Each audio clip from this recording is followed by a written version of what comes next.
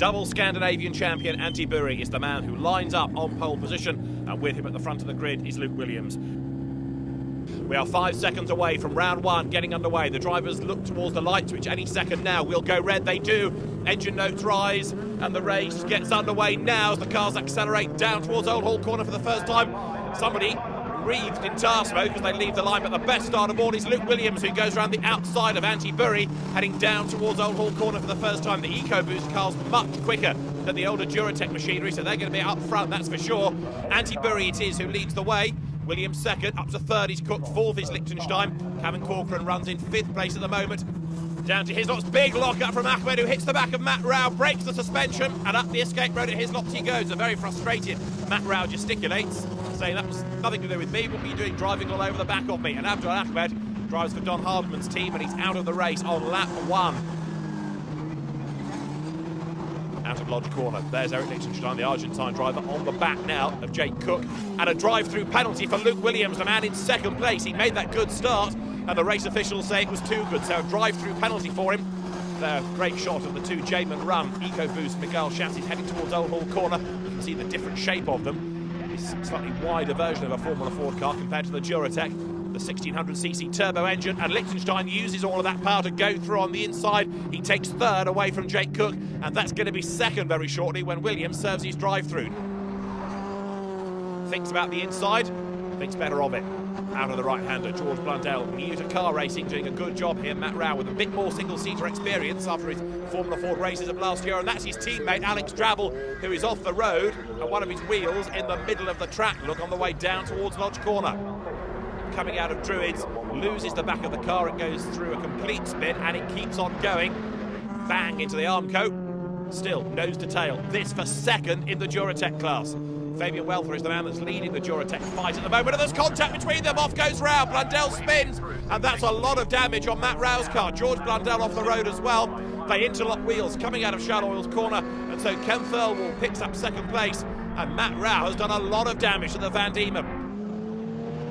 The EcoBoost era is going to be first time out. A win for Antti Buri, for JTR as the Mygale comes across the line. Antti Buri victorious at Oulton Park. He looks a dominant winner in the end because after Luke Williams had to serve his drive-through penalty, Eric Lichtenstein is four seconds back in second place. Jake Cook third. Luke Williams recovers for fourth ahead of Julio Moreno. And it's Fabian Welter, the man who wins the Duratec class. Round two of the Dunlop MSA Formula 4 Championship of Great Britain. It's Easter Monday, wet tyres, a wet road, slippery conditions, and the man at the front is going to have the best of the visibility. That's Antti Buri on pole position. Luke Williams, unless he makes a good start, is going to be sitting in his spray. It's an 18 minute race in very heavy rain and it is about to get underway. Light to go red. Round two of the championship is go now. They slither off the line and Antti Buri, who as the Scandinavian champion should be used to slippery conditions, makes the best start. A bad getaway though by Luke Williams and up into second place goes Eric Lick. Eric Lichtenstein, the Argentine driver, second. Fred Martin Dye on the inside tries to take third as they tiptoe their way round Old Hall Corner for the first time. You can see what I mean about the spray, but it's Eric Lichtenstein alongside Antti Buri. He's going for the lead in the red car. He's on the outside line, but he runs out of road at Cascades and off he goes. Over the grass, through the gravel, over more grass. His teammate in the background, Luke Williams, spins in avoidance. Now there is Antti Buri, no longer the race leader. He's gone wide at Druids, and that means that past him has gone Jake Cook. And there you can see in third place, Fred Martin Dye going after the man that won round one. Off the road has gone Abdul Ahmed. That's coming out of Druids and the safety car is being deployed. Abdul Ahmed is okay, but in these very wet conditions, lots of drivers having problems. You can see in the background somebody had been off at Druids, and then Abdul Ahmed has his own drama. The restart is about to get underway. Can the Finn fight back against the young British driver? You're on board with Antti Buri now, coming out of Lodge Corner. Green flag greets them this time. They race again as they come over the line. Lichtenstein now off the circuit and not for the first time in the race. He went off on the first lap at Cascades. Now he's off at Shell Oil's corner as well. He's in the tyre barrier. He's out of the car. He's okay. That's two of the three Jamun cars off at the very end. Luke Williams in the tyre barrier. You can see how bad the rain is now. The Jamun racing team started with three. They end with just one but it's the one that matters because P1 is heading for Jake Cook. It's a win in round two of the Dunlop MSA Formula 4 Championship of Great Britain for the Yorkshireman, and Antti Buri, who was the winner of round one, is a very distant second. The clock ticking away for the gap, seven, eight, nine seconds. It is very nearly 10 seconds between the two. And that is after a safety car period, remember, that bunched them all up. Jake Cook, the winner from Antti Buri. Fred Martin Dye third.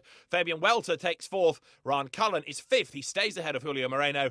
And that fourth place for Welter gives him victory in the Duratec class. It was still pretty wet and horrible for round three as well. Antti Buri once more was the man on pole position. Luke Williams with him at the front of the grid. Jake Cook lined up third. And Eric Lichtenstein, eager to avenge his disappointment of race two, was fourth.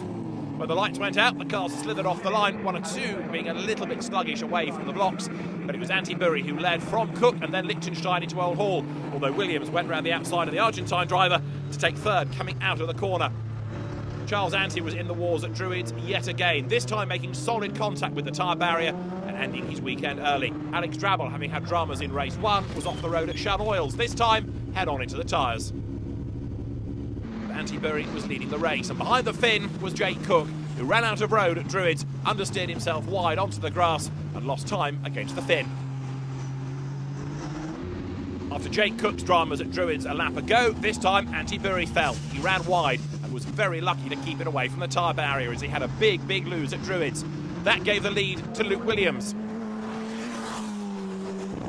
So Luke Williams powered his way across the line to be the third different winner in the three rounds of the championship at Oulton Park, each of them won by a first-time winner as well. Behind him, teammate Jake Cook to make it a 1-2 for Jamun. Antibury survived for third ahead of Lichtenstein, with Cavan Corcoran fifth and Ken Thirlwall winning the Duratec class.